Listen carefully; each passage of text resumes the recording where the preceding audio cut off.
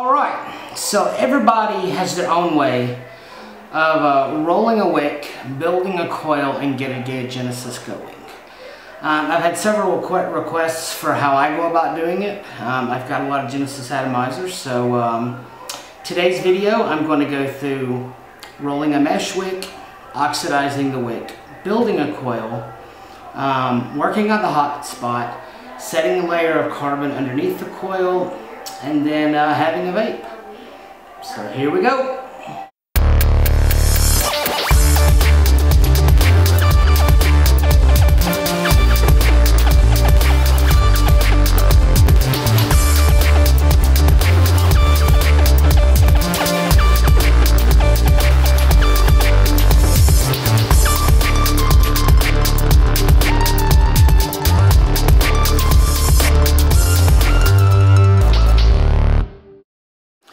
To start, I don't cut near as large of a piece of mesh as uh, some others do. I don't particularly like a very dense wick.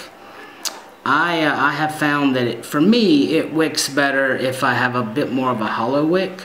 So um, I generally try to start with a pretty thin piece of wick and I'm going to put this on a Hellfire Mini and it, it actually has a pretty small wick hole too. I think probably a 2 millimeter wick hole so I just start by you know kind of rolling it upon itself here. And then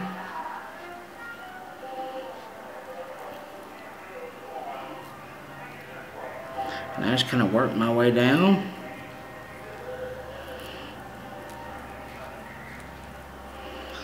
And continue to work my way down. This isn't, a, for me, a very long process work my way down. My wife is very proficient at rolling wicks. Actually, now most of the time, my uh, when I have a wick needing done, my uh, my wife actually rolls it. So I mean, anybody can do this. Now, I'm not trying to get an extremely dense wick here. Just uh, just enough to go down in the hole.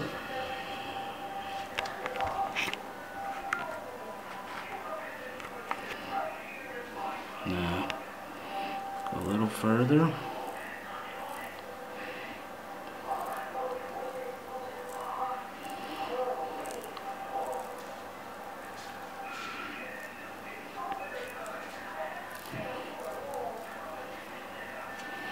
That should go right on in there now.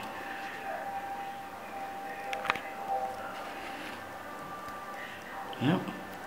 Now, I'm going to take take note of where that's all the way down. So what I'm going to do is I'm going to pull it back just a little bit.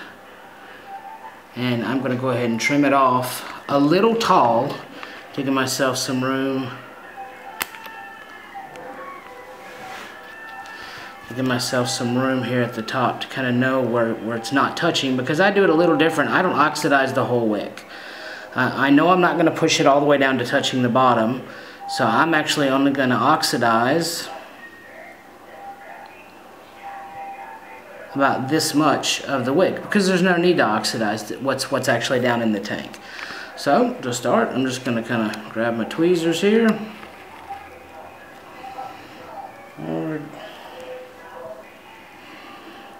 Gonna set it on fire.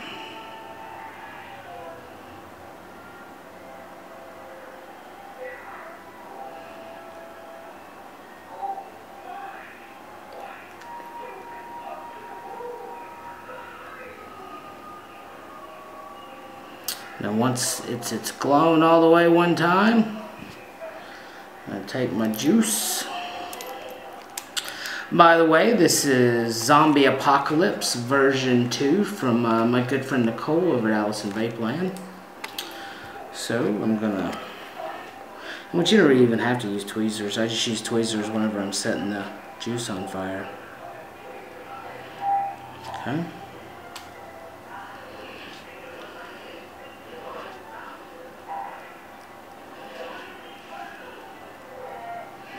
grab it with my tweezers and burn that juice off.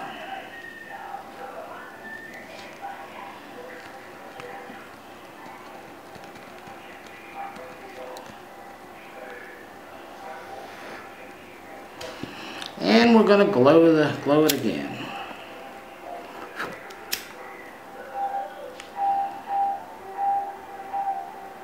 You don't have to go out and spend a bunch of money on a butane torch. I do have one, but would say nine out of nine times out of ten when I'm rolling a wick, I just grab a cigarette lighter and go for it.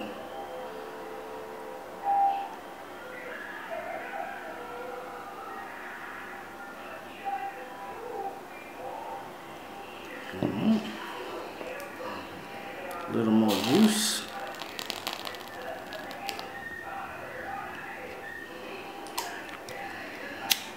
And strike her up again.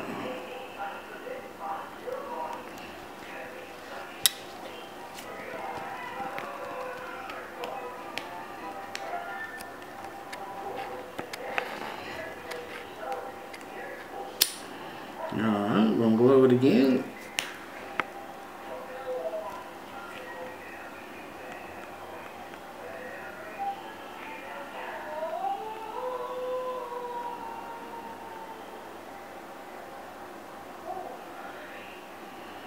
Pretty simple process.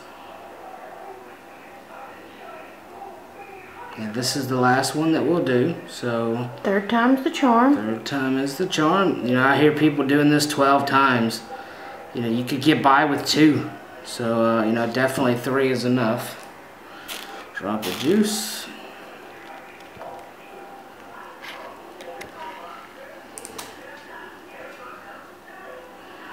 We'll burn that off one more time.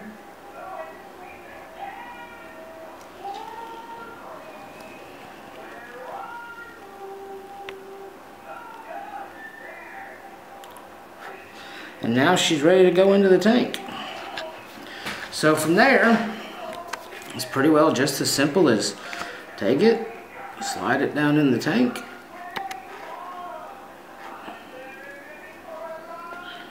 Now, I don't know if you can actually see down in that tank, but you can see actually where the oxidation stops about halfway down that tank. Now that's touching, so like I said, I'm going to pull it back just a little bit so that I know the unoxidized portion of it is not touching the bottom of this tank. So from there, I'm just going to take my bit of wire. Now I like to, uh, to take it and kind of hook it there where I'm going to start my wrap. Take my flathead back the negative post out just a bit. I'm going to take that where I've got it hooked around and I'm going to start that first coil.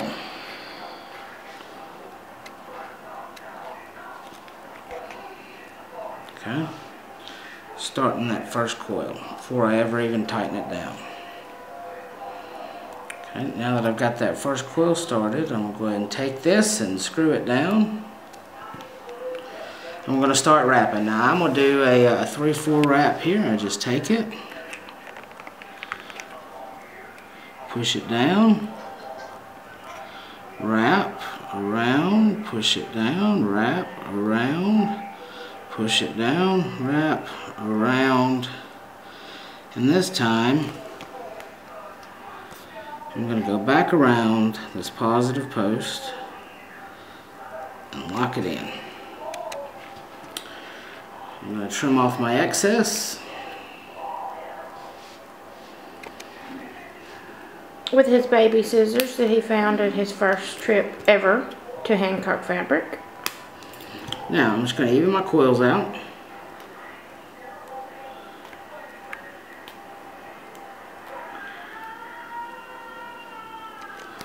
Those look pretty even.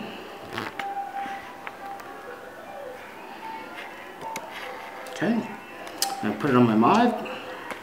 Not putting juice on it yet. I want to make sure all the coils are glowing together before I fingerprint magnet on my Caravela. Now, we want all these glowing together.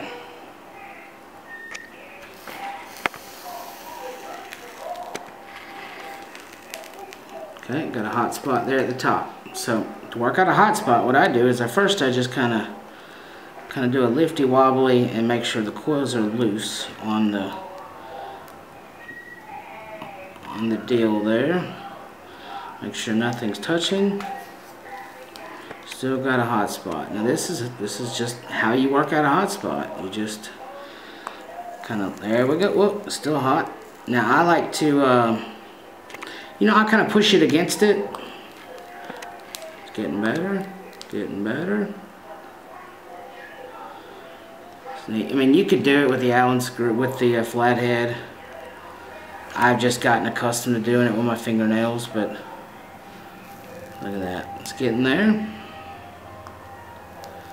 Getting there.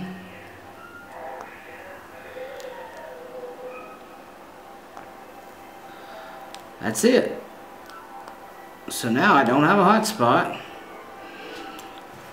I don't really see a reason to trim that wick anymore, but we'll just, just for sake of being pretty, we'll do that. Okay. Now I'll go ahead and put a couple drops of juice on it.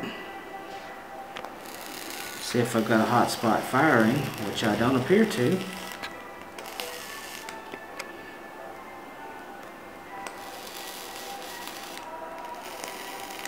Now I'll burn it a few times like this. I'll put a couple of drops on it. What I'm doing now is I'm, I'm building a layer of carbon underneath the coil. I don't have a hot spot um, because all the coils are glowing uniformly. So now I'm just kind of setting a layer of carbon under them coils.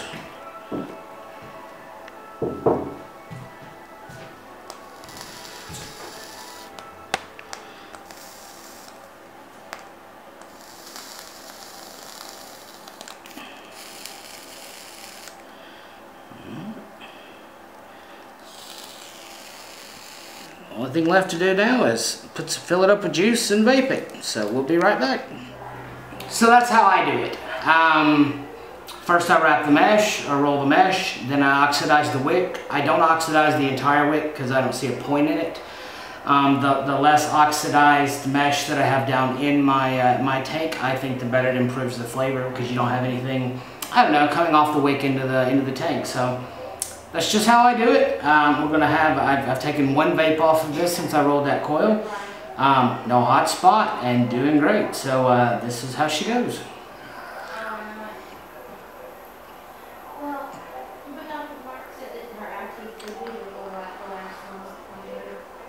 It's a great bait. It's a great coil. Again, that's how I do it. Now, if you get a hot spot, what you do is you just pop it off.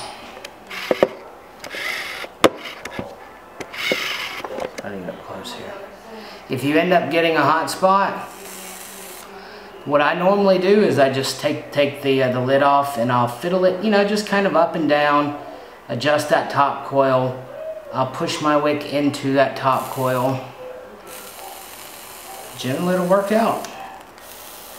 Right now, no hot spots. Firing like a dream. But if you do get a hot spot, I hope this video did help you. Um, you know, just kind of, you know, fiddle it. Take that top coil.